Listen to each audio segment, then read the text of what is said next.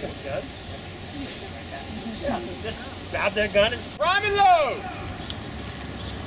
So the order I just gave Mike is a compressed version of what could be as many as 15 steps to properly load a flintlock musket.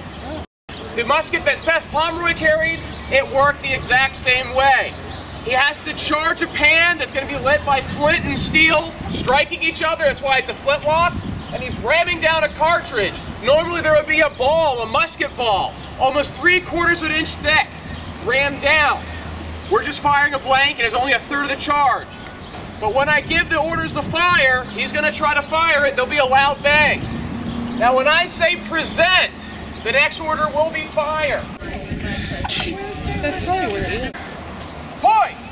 Fire lock! Cock! Fire lock! Present! Fire!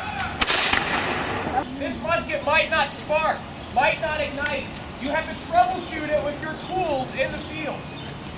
Fire lock! Cock! Fire lock! Present! Fire! and take off some of the goggles to the 20th century.